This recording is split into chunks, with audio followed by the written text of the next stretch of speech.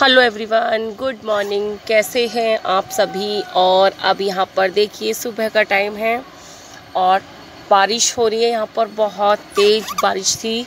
और बारिश जो थी, वो रात से ही हो रही थी। तो सुबह के टाइम पे जब मैं उठी तो उठ के मैंने सबसे पहले यही सूट किया कि बारिश जो थी, वो मौसम भी बहुत अच्छा सा, सुहाना सा मौसम हो गया, एकदम ठंडा सा। क्योंकि गर्मी जो है, बहुत ज़्यादा हो रही थी कई दिनों से। और बारिश भी बहुत अच्छी तेज़ वाली बारिश हुई थी। और अब यहाँ पर मैं आप लोगों को टाइम दिखा रही हूँ तो टाइम हो रहा है सुबह के पौने छः पौने छः भी ज़्यादा हैं क्योंकि टाइम अभी कम है, साढ़े पाँच ही हुए हैं। मैंने जो है ये घड़ी आगे की हुई है थोड़ी सी, दस पंद्रह मिनट। और ये मेरे कपड़े जो है, मशीन लगाई थी, कल वाली वो रखे हुए हैं, ऐसी टाइम नहीं मिला था। तो मैं इन्हें आज फोल्ड करके रखूँगी और इसके बाद बात और आज, अब मैं आ गई हूँ किचन में और किचन में आने के बाद मैंने जो है, आज बनाना है राजमा और चावल। तो यहाँ पर राजमा है, वो मैंने पहले ही धो के कुकर में चढ़ा दिया था और इसके बाद इसमें दो तीन आलू डाल दिए हैं और आलू हमेशा मैं छील के ही डालती हूँ क्योंकि फिर बाद में ना छीलने की प्रॉब्लम नहीं होती। और पहले ही छील के काट के डाल दो तो फिर बाद में फटाफट बॉयल होने के बाद एकदम से इसमें इसको फ्राई कर दो। और अब मैंने इसमें नमक डाल दिया है, आधा चम्मच। और इसको उबलने के लिए रख दूँगी, फिर इसके अब बाद बनाने हैं। और अब यहाँ पर मैंने राजमा बॉयल रखने, करने के लिए रख दिया था। और जो मसालदानी है, जिसमें मैं मसाले हमेशा रिता के रखती हूँ, मैं अलग से डब्बे में नहीं रखती हूँ मतलब छोटे छोटे बहुत से छोटे छोटे डब्बों में रखते हैं, लेकिन मैं मसालदानी के अंदर रखती हूँ सारी चीज़ें। तो मसालदानी में जो है मसाले, ख़त्म हो गए थे तो मैंने सारे इनकी जो ये है, डिब्बी इसमें रिता दिए हैं, धनिया, हल्दी वगैरह जो ख़त्म थे, वो मैंने इसको इसमें रिता दिए हैं और जो ये मसालदानी थी, ये भी गंदी हो रही थी। क्या होता है ना, मसाला जब हम निकालते हैं तो दो तीन दिन में थोड़ा बहुत गिर ही जाता है उसके अंदर तो वो मैंने सारा अच्छे तरीके से पहले धोया था साफ़ किया था और उसके बाद फिर इसको मैंने कपड़े से पूछ लिया और कपड़े से पूछने के बाद अच्छे तरीके से पूछ लिया था कि जिससे इसमें पानी ना रहे और इसके बाद इसमें मैं नीचे हमेशा हमेशा एक पेपर लगाती हूँ कागज़ का पेपर हमेशा लगा के रखती, क्योंकि नीचे से क्या होता है ना, नमक वगैरह इसमें जो डल जाता है तो उससे थोड़ा सा जंग सा आना शुरू हो जाता है। और वैसे बहुत सारे लोग हैं ना जो नमक है, इसमें नहीं रखते हैं, और वो अच्छा है, क्योंकि नमक इसमें नहीं रखना चाहिए। लेकिन मैं जल्दी के चक्कर में थोड़ा इसी में रख देती हूँ, क्योंकि ये रहता है कि फटाफट इसी में से निकालो और इसी में डाल दो। और अब यहाँ पर हो रही है राजमा बनाने की तैयारी तो ये मैंने कढ़ाई रख दी है गैस के ऊपर। और कढ़ाई है ना, गरम हो गई है काफ़ी। अभी जाओ ना, जल्दी जल्दी ना फटाफट। तो ये मैंने इसमें डाल दिया है थोड़ा सा सरसों का तेल, या मुझे चाहिए था। और ये रखा है राजमा बॉईल किया हुआ। ये मैंने कुकर में से खाली कर लिया है, क्योंकि कुकर में बनाने मुझे चावल।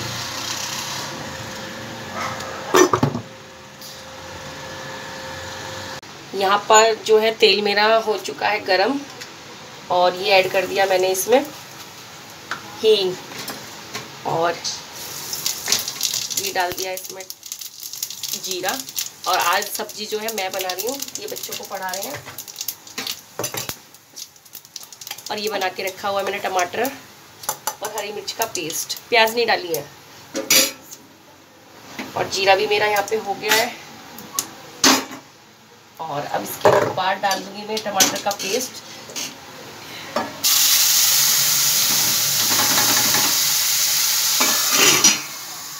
और अब मैं इसको यहाँ पे चेक करूँगी कि इस, इसका जो मसाला है, ये ग्रेवी है।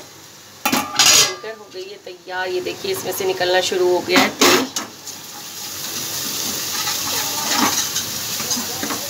और ये ग्रेवी जैसी मेरे को चाहिए। वैसी हो गई है।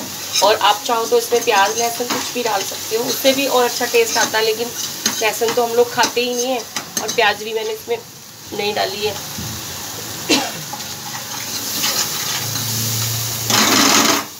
तो बस अब मैं यहाँ पर डाल दूँगी ये जो रखा हुआ है राजमा।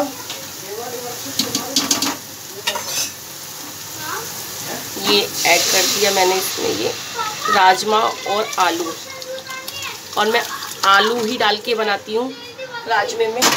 हमेशा। क्योंकि उससे क्या होता है ना, राजमा एकदम गाढ़ा गाढ़ा सा हो जाता है और चावल के साथ वैसे भी थोड़ा सा राजमा एक्स्ट्रा ही बनाना पड़ता है।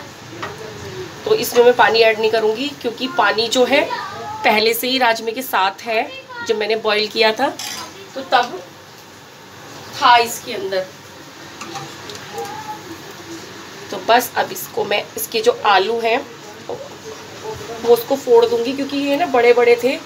मैंने काटे मतलब फोड़े नहीं थे काटे नहीं थे ऐसे डाल दिए थे। आ, और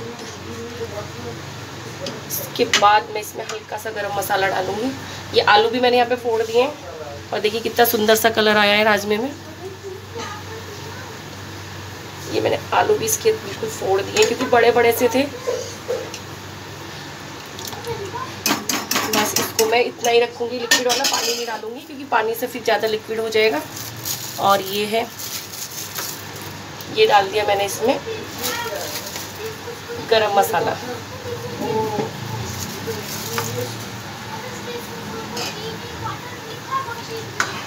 और बस, अब मैं इसको, इसमें मैंने गरम मसाला भी ऐड कर दिया है। और अब इसको बस मैं एक दो बॉईल आने तक ऐसी ही छोड़ दूँगी।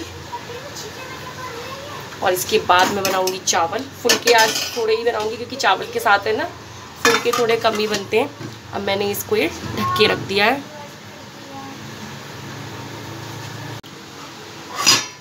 और अब मैं यहाँ पे ना राजमा चेक करूँगी। तो राजमा मेरा यहाँ पे उबल चुका है। मैंने गैस सिम कर दी थी बिल्कुल। तो मेरा ये धीरे धीरे गैस पे हो गया है।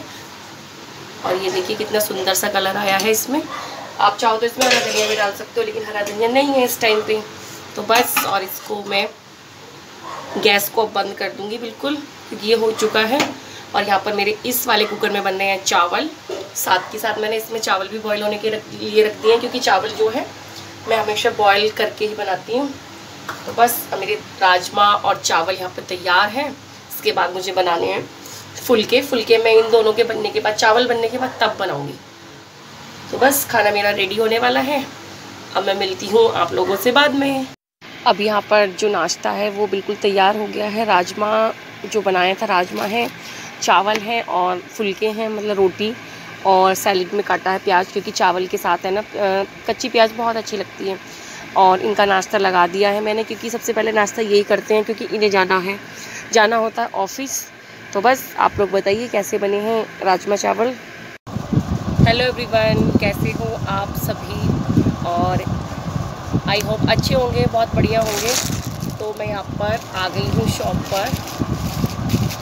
तो शॉप आज मैंने है ना मॉर्निंग में नहीं खोली थी, क्योंकि बारिश बहुत थी और बीच बीच में आ गई थी जब कस्टमर आ गए थे तो कोई फ़ोन कर देता है तो। और यहाँ पर फ़ैन चल रहा है तो फ़ैन की आप लोगों को आवाज़ आ रही होगी। अभी मैं फ़ैन ऑफ़ कर देती हूँ।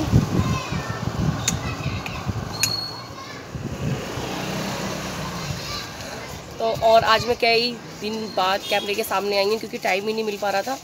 मार्केट गई थी तो मार्केट जिस, जब भी जिस संडे या मंडे जिस, जब भी मार्केट जाओ तो उसके एक या दो दिन डिस्टर्ब से रहते हैं क्योंकि माल लगाना है सेट करना है और जो मेरे रेगुलर कस्टमर हैं तो उनको मैं फ़ोटो पिक भेज देती हूँ, जो मेरे अपने रिटेल के कस्टमर हैं।